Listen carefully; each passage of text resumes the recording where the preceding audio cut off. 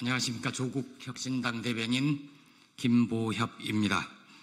윤석열 정권은 전운을 한반도로 가져오지 못해 안달인가 라는 제목으로 논평하겠습니다.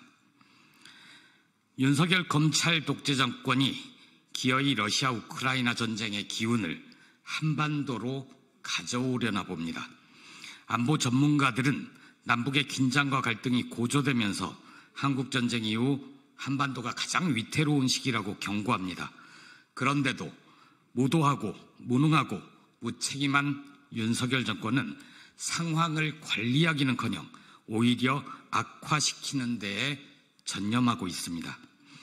이데일리의 오늘 보도를 보면 군 출신 한기호 국민의힘 의원이 신원식 용산 대통령실 안보실장과 북괴군 폭격, 심리전 활용을 논의하는 문자 메시지가 포착됐습니다.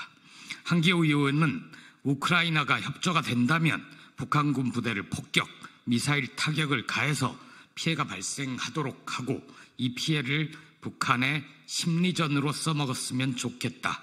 이런 문자를 안보실장에게 보냈습니다. 신원식 실장은 잘 챙기겠다고 대답했습니다. 한 의원은 또 연락관 파견도 필요하지 않을까요? 라고 보냈고 신 실장은 그렇게 될 겁니다. 라고 답합니다. 북한의 러시아 파병은 한반도는 물론 세계 평화에도 부정적인 영향을 끼칠 것입니다. 조국 혁신당은 북한의 파병도 대한민국 정부의 우크라이나에 대한 무기 지원도 반대합니다. 그런데 윤석열 정권의 안보 전문가라는 자들은 러시아 우크라이나 전쟁을 남북 간의 갈등 고조의 소재로 활용하려는 불순한 계획을 세우고 있습니다. 육군 중장 출신이라는 여당의 국회의원과 용산 대통령실의 최고 안보 책임자가 대한민국의 평화, 국민의 안전은 눈꽃만큼도 생각하지 않습니다. 우크라이나를 설득해 파병된 북한군을 괴멸시키고 심리전에 써먹자고 제안하고 이에 긍정적으로 답을 합니다.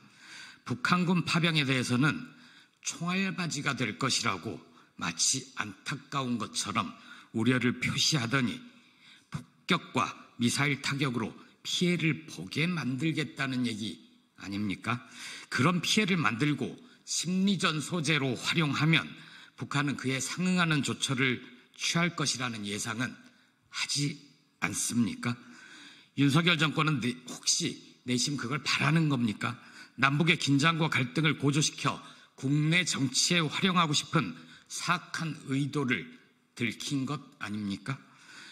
평화의 소중함을 깨달을 때는 너무 늦습니다.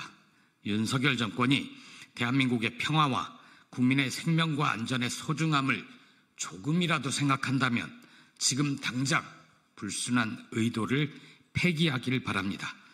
정확 한 정보 공유, 상황 관리에 나서야 합니다. 그럴 자신이 없다면 그 자리에서 내려오든가